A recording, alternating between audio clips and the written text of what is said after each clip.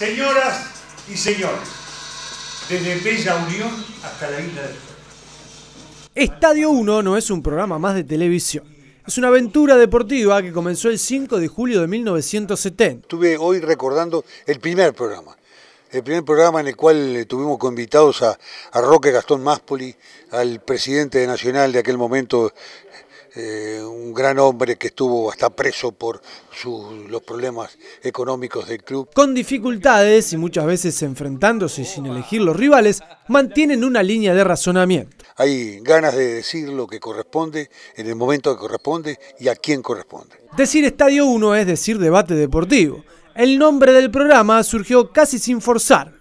Iba, iba por Boulevard Artigas hacia eh, la Asociación Española y en esa época, recuerde 45 años atrás, los árboles eran muy cortitos.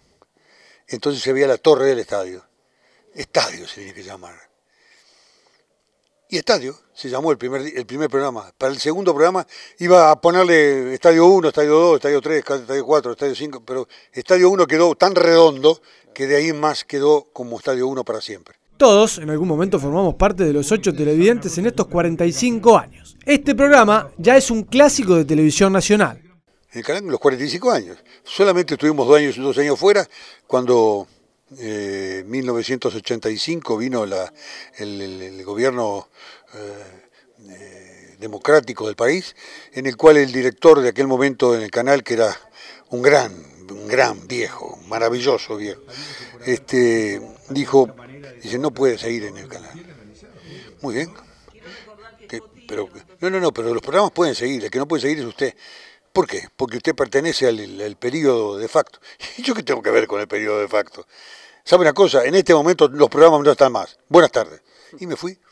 Estuvimos 14 días sin salir al aire, dos, tres programas.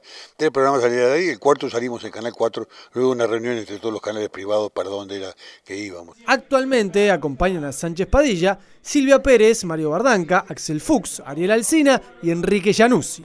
Señoras, señores, un gusto de estar en Canal 5, mi canal.